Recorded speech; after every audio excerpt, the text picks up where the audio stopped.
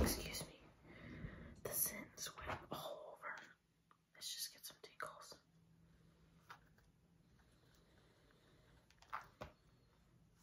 So this is what this is. It's a little pouch of nicotine. Doesn't smell like anything. Let's just get some tingles with this.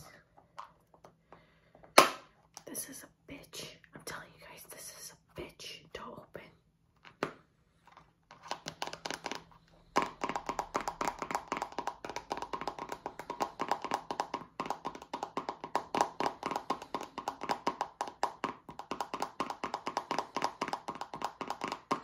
Thank you guys for watching. Like, share, and subscribe. There's nothing really much to talk about with these Zyns. What they are is just like little nicotine pouches. Understand the hype on